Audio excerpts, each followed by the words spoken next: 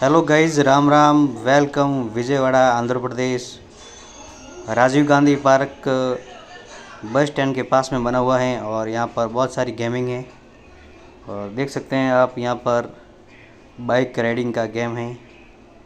और बहुत अच्छे से यहाँ पे इंटरेस्ट इंजॉय कर सकते हैं। अलग अलग फोर व्हीलर गेम है तरह तरह के गेम है। और बहुत बड़ा पार्क बना हुआ है। तो आप विजयवाड़ा में आए तो बस स्टैंड के पास में बना हुआ है राजीव गांधी पार्क और यहाँ पर ट्रेन भी है, मिनी ट्रेन और बच्चों के साथ पार्क में इंजॉय कर सकते हैं। तो गाइज़ हमारा ये ब्लॉग है।